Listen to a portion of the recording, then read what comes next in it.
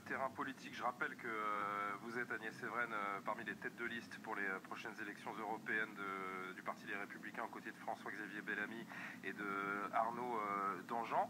Il y a une question que j'aimerais vous poser. Est-ce que, parce que vous êtes quand même tous les trois, de, certes du même parti, mais de sensibilité quand même assez radicalement différentes, est-ce que vous êtes d'accord pour vous rallier derrière Monsieur Bellamy qui semble tout de même être beaucoup plus à droite que vous ne l'êtes? Mais oui, mais et alors, c'est tout l'intérêt de ce trio justement qui est notre force. On va additionner nos forces dans toutes les familles politiques et c'est une tradition aussi de la droite française, c'est d'avoir différentes sensibilités. Autant nous avons, il est vrai, des euh, sensibilités différentes, mais nous avons la même vision de la France dans l'Europe et de l'Europe dans le monde.